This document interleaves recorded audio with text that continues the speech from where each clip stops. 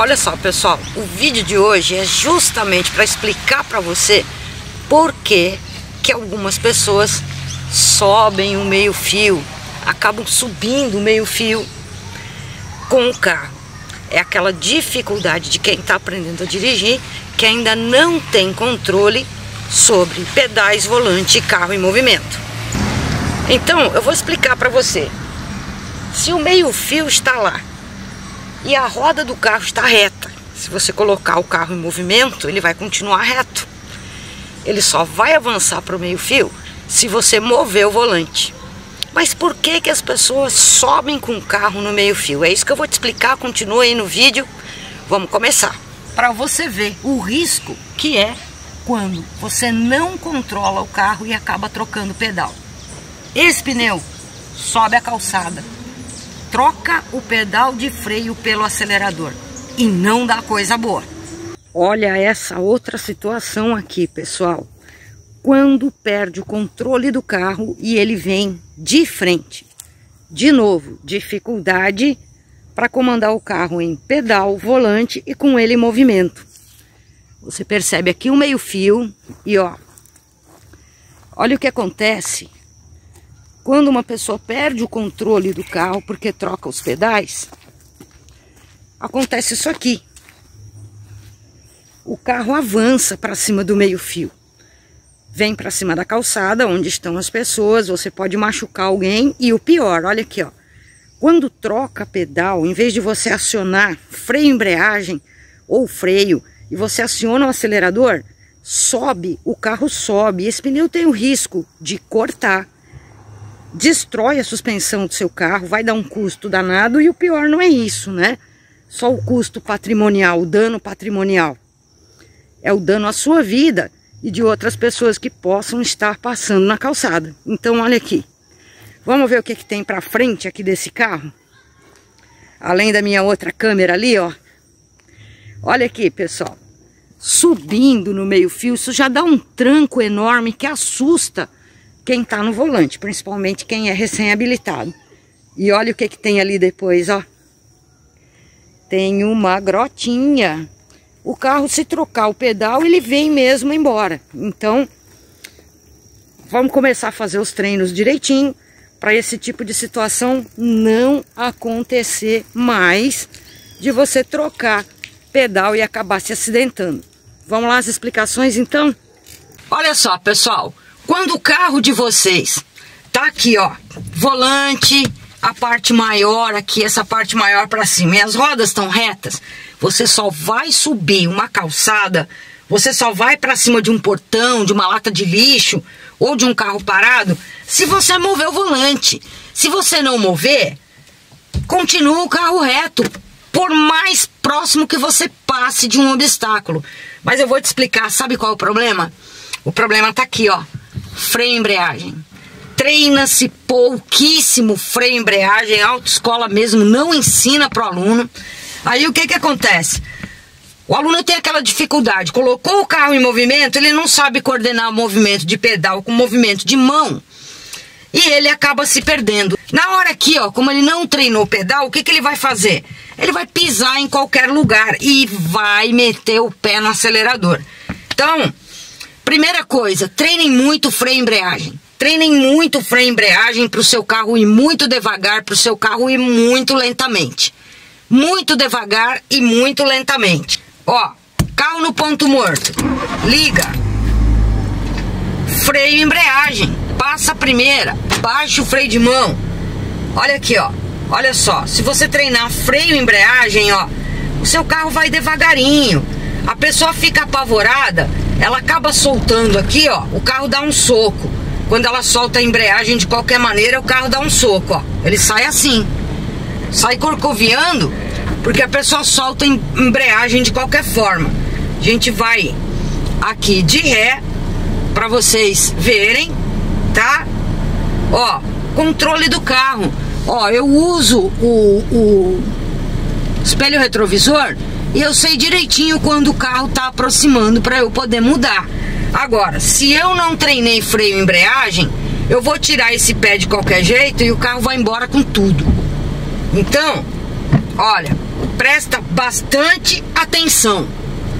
Freio e embreagem, ó, achando ponto, saindo suave, não faz tremidinha, senão o carro sai assim, ó, corcoviando ou ele morre mesmo, tá? E a marcha ré, pessoal, é uma marcha muito forte. É uma marcha, é uma marcha forte. É, porque ah, o carro tá quase parado e ela ó, tem o poder de ó, ela vai com tudo para trás. O seu carro sobe e você não tem controle. Falta treinar o que? Pedal. Treinar pedal e fazer um pouquinho do exercício do bêbado também, que é lateral, né? Para você fazer o controle de noção de espaço lateral do carro. Então aqui, ó, tô de primeira, baixei o freio de mão e eu tô saindo, é suave. Por mais que eu vá fazer um movimento, ó, eu chego próximo do carro. O problema é o apavoramento. A pessoa se apavora porque ela não treinou freio e embreagem, ela não treina pedais e o que que acontece? Acaba se envolvendo no acidente. Olha aqui, ó, tão gostoso o controle de pedal. Olha aqui uma prova para vocês, ó que carro se dirige nos pedais, ó. Vamos pra frente agora? Olha aqui, ó. Ó, não tem motivo para ficar aqui, ó, agarrado. Muitas vezes a pessoa tá agarrada, ela trava aqui, ó. Olha aí, ó. Eu controlo o carro, ó, nos pedais, ó. Anda e para, anda e para, anda e para. Entendeu? Só para demonstrar para vocês é a tranquilidade que você tem e o domínio que você tem do carro dos pedais que vai fazer você ficar, ó, sem problema nenhum aqui, ó, com o punho, ó, com o punho, ó, ó, pegando que nem pinça. Entende? Quando você treina, eu vou te mostrar agora, é, do lado de fora, a força que tem a ré. Tem uma força muito grande a ré. Eu vou te mostrar do lado de fora para você prestar atenção e ver o risco que você está correndo de não treinar pedal. Vamos posicionar a câmera lá? Olha aí, pessoal, eu vou mostrar para vocês, tá? Vou ligar o carro aqui, ó. Vou me certificar de que ele tá aqui no morto, realmente ele tá. Liguei o carro. Olha só, se eu vou colocar o carro de primeira, primeira marcha, tá? E eu solto o pé de qualquer jeito, ó. Ele morre. Viu o solavanco? chegou a tremer aqui, não foi estratégia não. Ele morre. Então, se você solta a embreagem, vocês vão ver. Se você solta a embreagem, ele morre. Ó, volta a chave para cá, tá? Tem que pisar aqui, trazer pro morto de novo. Então, se você traz muito para tremidinha, vamos lá, ó. Ó, quando o carro não morre, ó, a tremidinha, ó. Ou então o carro sai. Ó, ó. Quem é que já não conhece isso aqui? É a tremidinha. É o carro morrer. Isso aqui é uma judiaria com o carro, é uma judiação. Vamos lá. Agora eu vou mostrar pra vocês de ré. Olha aqui, ó. De ré. O que, que pode acontecer? O carro pode morrer de ré, o carro vai para trás. Ele pode morrer saindo de ré. Mas olha aqui, ó, se eu solto, ó. Olha, até canta. Uh, uh, ó, ó, ele morre de ré. Chacoalha tudo. Chacoalha até a câmera para vocês verem. Então o que, que você tem que fazer? Volta a chave aqui. Vamos lá. Olha aqui, ó, suave. Trocar pedal. É, é não trocar pedal aqui, ó. Freio embreagem. Suave Suave, achei o ponto, o carro já tá se movendo. Olha que beleza. Tchu, o bichinho só vai. Mesma coisa de ré. Aqui, ó, freio embreagem, achei o ponto que ele tá se movendo. E se eu estou de ré, eu não vou fazer é, é, soltar o pé da embreagem, porque senão o carro morre mesmo. Olha aqui, vocês estão vendo aqui, ó, como o carro vai suavezinho, bem devagarinho. E não tem outra forma de você obter esse movimento aqui, ó. Se não for de freio e embreagem. Se você soltar o pedal, vai dar tudo errado. Aqui, ó. Olha a tranquilidade, gente. Carro se dirige nos pedais. Não tô ensinando bobagem aqui, nem querendo aparecer. Tô provando para vocês que carro se dirige nos pedais. Olha aqui que suave. Quanto mais você treinar pedal, mais seguro, mais segura você vai ficar. Não vai pegar o volante e jogar todo para cima da calçada ou de um portão ou de uma lixeira e não vai fazer bobagem aí, ó. Olha a hora de sair. Oxe, manhã, oi, oi, manhã, oi, oi, oi que coisinha boa. Freio embreagem, parou.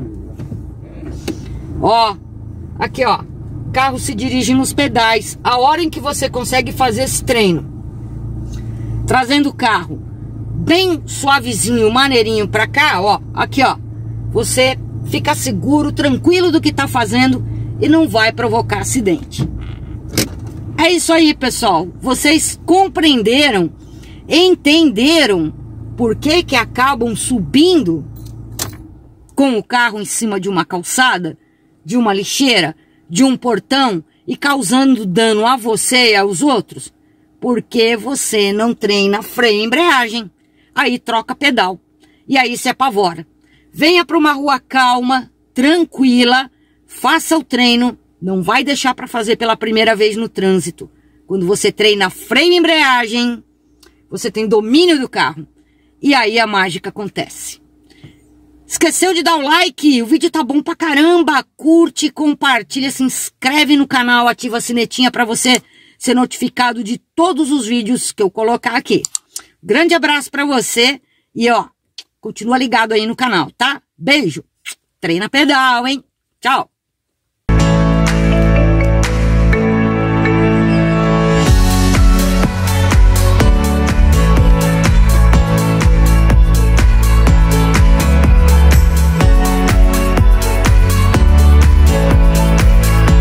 qualquer jeito, ó, ele morre.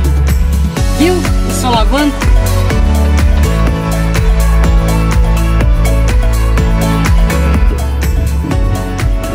Ó, ó, quem é que já não conhece isso aqui? Uh, uh, ó, ó, ele morre de ré. Chacoalha tudo.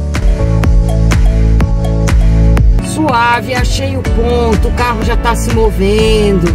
Olha que beleza. Tchu, o bichinho só vai. Tô provando para vocês que carro se dirige nos pedais. Se você soltar o pedal, vai dar tudo errado. Aqui, ó. Olha a tranquilidade, gente. Carro se dirige nos pedais. Se dirige nos pedais. Olha que suave. Vai ficar não vai pegar o volante e jogar todo para cima da calçada ou de um portão ou de uma lixeira e não vai fazer bobagem aí, ó. Olha a hora de sair. Oxe, manhã, oi, oi, manhã, oi, oi, olha que coisinha boa. E olha o que, que tem ali depois, ó. Tem uma grotinha. O carro, se trocar o pedal, ele vem mesmo embora. Então, você treina freio e embreagem, você tem domínio do carro. E aí a mágica acontece. Grande abraço para você e ó, continua ligado aí no canal, tá? Freio embreagem, parou!